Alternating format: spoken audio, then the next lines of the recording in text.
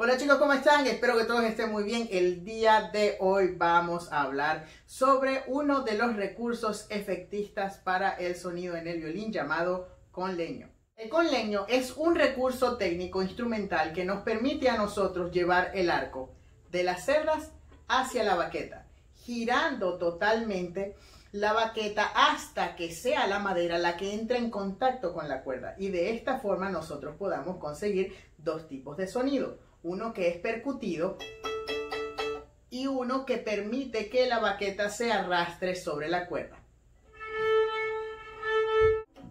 Suscríbete. Asimismo, cuando tocamos con leño debemos llevar el agarre del arco, que es la posición normal, como si fuéramos a hacer uso de las cerdas, hacia adelante. Es decir, los dedos nos van a permitir rodar, o en este caso rotar, las cerdas hacia adentro y la baqueta hacia afuera.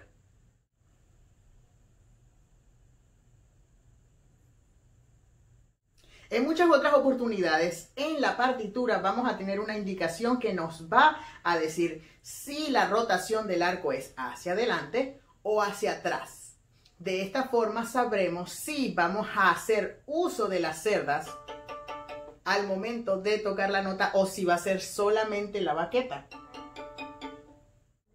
Por darles un ejemplo, si yo tocase con las cerdas, este sería el sonido que yo tendría. Pero si lo hago con leño al momento de utilizar la baqueta también sonaría de la siguiente manera. Es muy importante que tengamos cuidado al momento de utilizar este tipo de recurso técnico, ya que no queremos dañar la baqueta de nuestro arco. Debemos ser muy sutiles y debemos saber que el tipo de recurso técnico como el condeño se hace en la zona de rebote del arco. Y esto se relaciona muchísimo con el golpe de arco ricochet. El ricochet aprovecha el rebote natural del arco y el conlegno también. Esto es lo que nos permite a nosotros obtener ese sonido percutido sin dañar el arco.